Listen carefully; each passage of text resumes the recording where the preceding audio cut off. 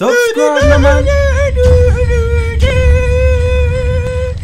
What's up, everybody? Welcome back to the United Twins with myself, CM, and Cappy of Odessa. And this episode is is coming a little late, I have to admit. You know, it's been a wizzy, busy, wizzy, what the hell? Busy week for me. You know, work all weekend, Friday, Saturday, Sunday. So, yeah, man, but you know I gotta come through with the episodes. The work don't stop. It doesn't matter how busy I am, the episodes are gonna continue to come. Alright. But first, I'll, I'll start off with the Young Boys game this week. That game was. We always knew it was an experimentation game for Ralf Rangnick. As fans, we saw that he had that rare opportunity to give members of the team a chance. Now, I'll get onto that a bit more later. First, I do want to congratulate Charlie Savage, Zidane Iqbal on making their Manchester United first team debuts. Come on, man, let's clap it up. Let's clap it up. Let's clap it up for them, and also clap it up for Teden Mengi, Anthony Elanga, and Shola Shoretire for making the Champions League debuts. So special night for all the youngsters. Big up to Tom Heaton as well, making his Man United debut. Long time coming. But listen, I was pleased to see those young guys get a chance. But what I was slightly disappointed with was the performances of the senior members. You know, Bailly, I thought was outstanding and deserves to start in some league games. Greenwood was great. What a goal that was, by the way. Still striking the ball as clean as he did, with it being behind him. Trust me. and Rangnick, he's set to boost his physicality levels in the coming months. So imagine when we get a fully developed Mason Greenwood. How lethal is he going to be? But remember, he's still young. So give him time. Give him time. He's this good now, but just imagine how good he is if he's given a true development plat a platform to develop as a player. Develop into a perfect player. Come on man. But look. When there are games like this cappy i look to those players who want more game time and say this is your chance to shine. Your chance to show the manager what you're made of. I thought lingard didn't have the best performance. A lot of people said he looked disinterested but I'm gonna sway away from them. Yeah, I thought Wan-Bissaka had a nervous game at right back. Mm. Get well soon, but you will have to improve now with a new coach and new ideas.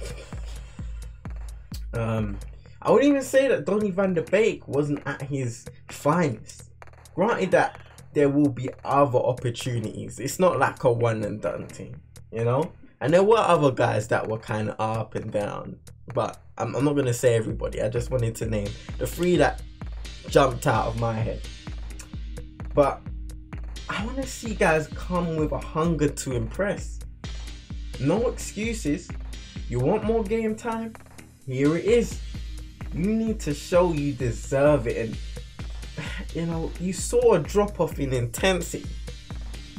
You saw a lack of control as the game went on, and to me, that did disappoint. You know, there was bound to be some rust from some, but still, you know, Juan Mata, for example, he had a decent game, and he hardly plays anymore. So what are the excuses? You know. Overall, the game wasn't a decider or anything, so it didn't matter. But I still would look at this game as a coach and say, some of these guys, based off this performance, don't seem to be reliable.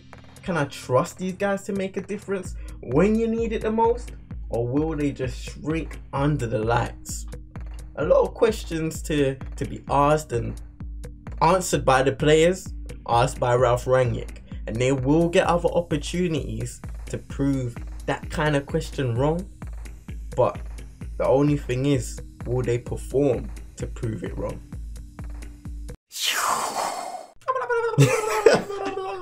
and this episode's co- oh, what are you doing? Nah, nah, nah, nah, nah. What kind of disrespect is this? And you ain't drop a like on the video yet? Or subscribe to the channel? At least do one or the other or both. If you're new, subscribe and drop a like. If you're here, drop a like on the video. Surely if you've watched half the video, you should be enjoying it by now. Drop a like. Stop being stingy. It's free. Still watching. So CM, we have a game coming up, but I just wanted to touch on the breaking news story that was covered on our Instagram page. So go follow it at CM22ENT. Daily posts about Man United news, uh, our opinions on games, all them things there. So get involved in the comments and have your say. And maybe your comments will show up on these videos. There's an incentive. Anyways, according to his agent, Anthony Martial wants to leave Manchester United in January, and you know what? It's a sad situation for me. In Anthony, I see a guy with bundles of ability, CM, talent, and it, it's all been wasted due to a lack of consistency and a, an abundance of pure chaos within the club. It's happened to many players, really. Paul Pogba, Marcus Rashford. Some guys that have come and gone, like Memphis Depay. Those are just to name a few. What the hell? You know what, yeah? Tell him to turn off his phone. This guy, this guy CM has no manners. Listen, it was a mistake, no, man. man. That, that, that thing pressed me. Hold on, uh, cut, cut, cut. Like I said, man, just to name a few, the ones that suffer the most in such a pure poorly. Ah! you see that that one phone call messed up everything, you know, everything. I even forgot what I was saying, man. Just chat, man. Ah, what I'm saying is, the club is run poorly, and that will affect the young guys, their development, how they reach their full potential, that will affect them. And it has happened to so many players, not even just young guys, experienced players that come into the club and then dip. You're seeing some of these guys in our squad take dips. And it's like, come on, you should be performing better, but surely there is other issues to this. Because how many times are we going to say it's up to Paul Pogba to play to his best? No, there's more things happening behind the scenes. It's up to Anthony Martial to play to his best.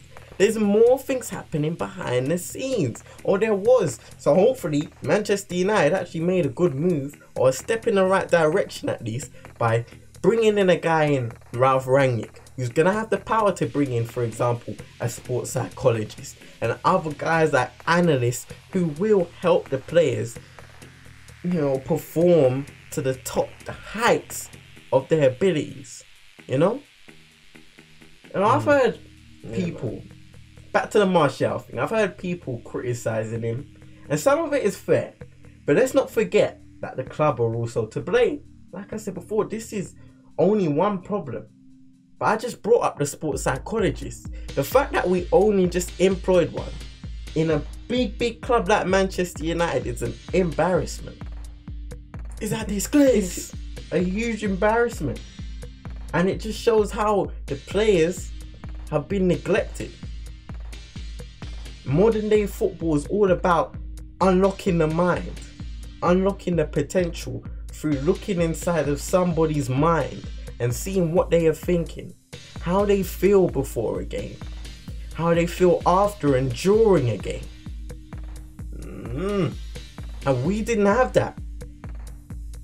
Come on, man. I'm, I'm just glad we got Ralf Rangnick. We have one now. Jeez, but listen, it's easy to criticize the player, but what's going on behind the scenes is what will improve the things you do see. And the club have not given the players the platform to succeed with a level of consistency for years now. And that is what I was aiming to get to before I was rudely distracted by CM's phone.